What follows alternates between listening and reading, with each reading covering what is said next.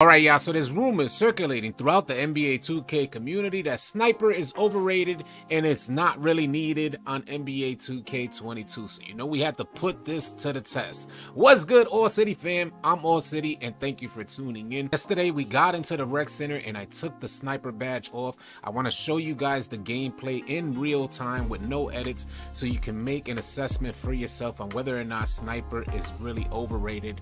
Do you really need the Sniper badge? Let me know your thoughts in the comment section below. I would love to hear what you think about the sniper badge. I gotta be honest, from what I've seen and my personal experience with sniper on low three-point rating type of builds, it's been a godsend. I've been able to shoot lights out with the sniper badge, but I gotta be honest as well, it has always been the first badge that I upgraded, so I never really got to test what it's like playing without the sniper badge. As you guys see, this player has a 91 three-point shot. Do you guys think that the sniper badge is absolutely necessary on a player who has such a high three-point rating? It's questions like this that have been asked, and it's questions like this that I hope to have answered with this video. As always, before we continue this video, I would love to invite you guys to the number one NBA 2K22 Discord. If you guys are looking for players to run with on NBA 2K22, join our Discord. We would love to have you. And I would like to set a like goal for 200 likes on this video. Hopefully you guys could crush that like goal. Let's get right. Is Sniper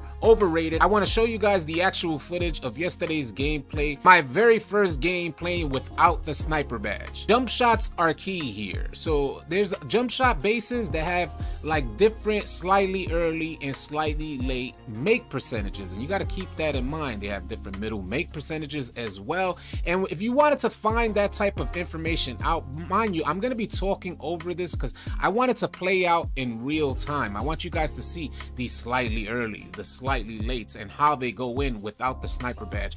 But if you guys are looking for the actual percentages on a base, whether it's slightly early make percentages, slightly late make percentages, or middle make percentages, you can go to NBA 2K Lab and try out their premium membership.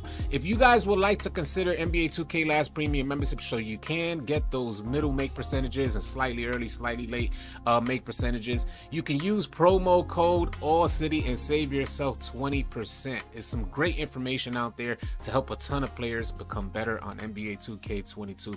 I gotta say, from my experience yesterday, without the sniper badge, especially from this gameplay that you see behind me, you're gonna start to think that, man, maybe sniper is overrated. I can't deny the fact that on my low three point uh, rating builds, Sniper just seems to be overpowered. And I know a lot of you guys have witnessed Sniper in action. I know you've seen it out there. You're just like, man, if that dude did not have the Sniper badge on, he would not have hit that shot. So many times, like you see somebody take a shot and they're big whites out there. You're just like scratching your head in confusion as to why some of these shots go in. And we know that's due to the Sniper badge. But more so, we're talking about higher three-point shooters. Do these players with higher three-point attributes really need the sniper badge? That's what we finna get answered here.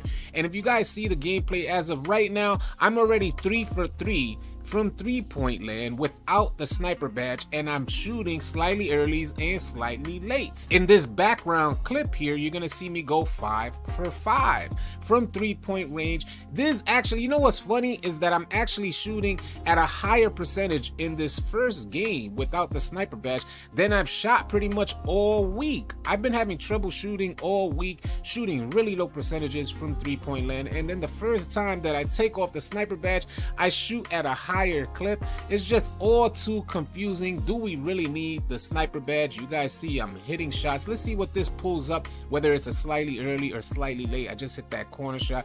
And I do have help from badges like corner specialist, but that's what we want answered. Do we need sniper if we could equip other badges to accommodate where we lack?